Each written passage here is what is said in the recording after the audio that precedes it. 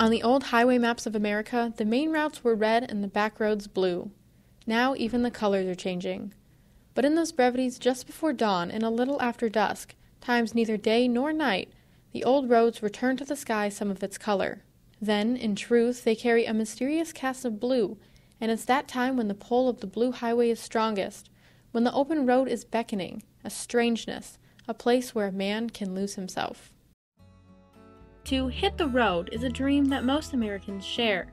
To get into our car, van, pickup, or RV to see where the roads of America lead us. For some, it's to see what's out there. For others, it's to find something new, to escape the place or circumstances they are in, hoping to find someone new or perhaps themselves in the process. In 1978, home had become intolerable for a young professor teaching English at Stephens College in Columbia, Missouri. His teaching position was being eliminated. He had been separated from his wife and got word that she had found a friend. It seemed an opportune moment to hit the road to satisfy that longing to see backroads America.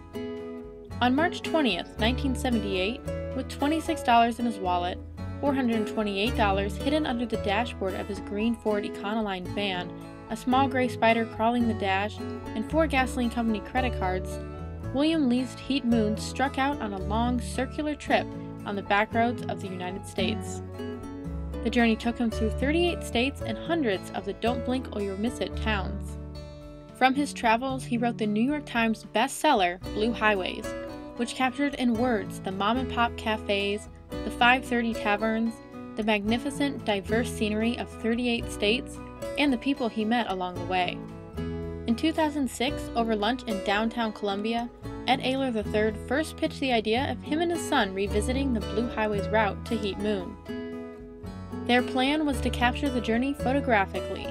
He showed Heat Moon some photographs of the Oregon coast, part of his Northwest route, Heat Moon told Ed that one of the most common questions he still receives from readers is when are you going to take the trip again to see how things have changed?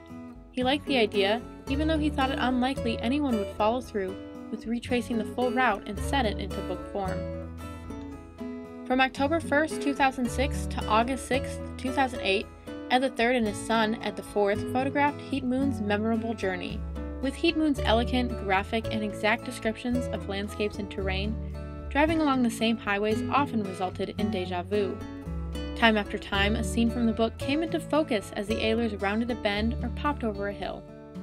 The three and four calendar local cafes, corner taverns, and the entertaining and wise characters Heat Moon met along the way were a greater challenge to find nearly 30 years later, but over the next several years they tracked down 11 of the individuals still living.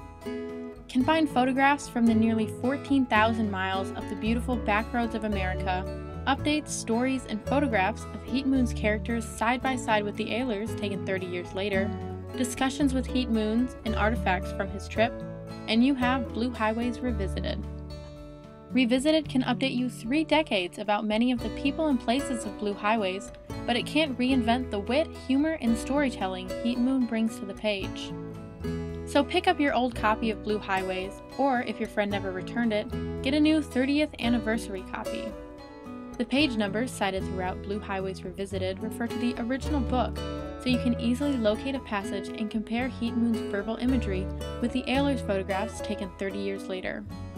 With your copies of Blue Highways and Blue Highways Revisited, travel with us to a place where man can lose himself and find himself as well.